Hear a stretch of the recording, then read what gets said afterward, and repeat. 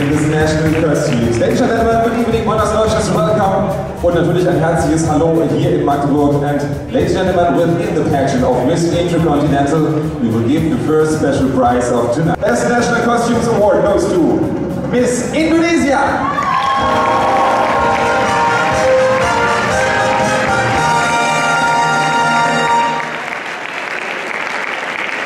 Congratulations.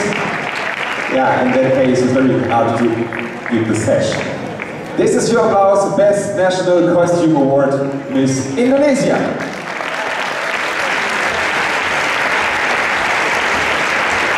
And now it's time for me to say first time goodbye. We're gonna see you later in the first voting round, and this is your applause.